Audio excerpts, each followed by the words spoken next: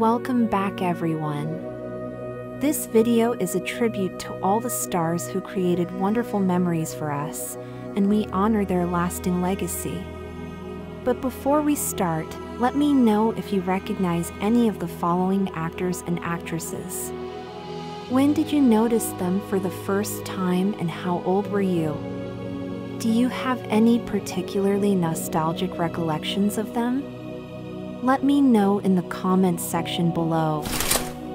Annette Funicello was an American actress who rose to fame as one of the original Mouseketeers on the Mickey Mouse Club.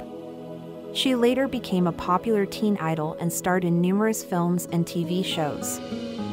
Funicello also had a successful music career and was inducted into the Disney Legends Hall of Fame. She passed away in 2013 from complications related to multiple sclerosis, a disease she battled for over 25 years. Funicello's contributions to the entertainment industry and her advocacy for MS research continue to inspire many today. Ben Johnson was an American actor, stuntman, and rodeo cowboy.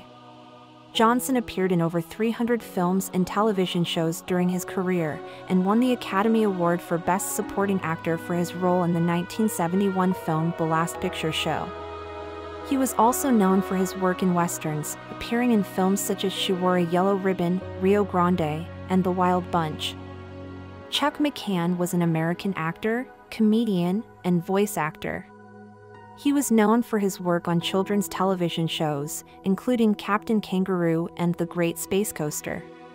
He also appeared in numerous films, such as The Heart is a Lonely Hunter and Herbie Rides Again. McCann was also a prolific voice actor, providing voices for various animated series and commercials. He passed away on April 8, 2018, at the age of 83. Claire Trevor was an accomplished actress who appeared in over 70 films during her career. She won an Academy Award for Best Supporting Actress for her role in Key Largo and was also nominated for her performances in Dead End and The High and the Mighty. She passed away in 2000 from respiratory failure.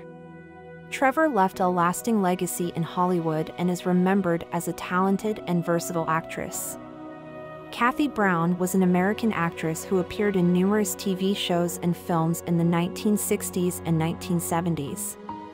She had a recurring role on the popular Western series The Big Valley. Browne also made guest appearances on other notable shows such as Perry Mason and Gunsmoke. She passed away in 2003 from natural causes. Although her career was cut short, Browne's performances continue to be remembered by fans of classic TV and film. Richard Brooker was a British actor and stuntman, perhaps best known for his role in Friday the 13th Part 3 as Jason Voorhees. He was the first actor to wear the hockey mask as Jason, which became a trademark of the series later on.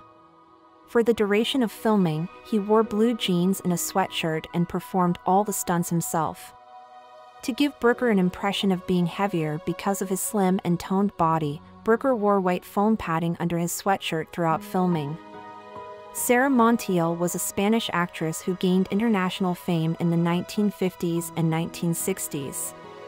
She starred in over 50 films and recorded over 300 songs in various languages. Montiel was the first Spanish actress to make it in Hollywood, and her legacy includes being a pioneer for Hispanic women in the entertainment industry. She passed away in 2013 from heart failure. Montiel's contributions to the film and music industries continue to be celebrated today.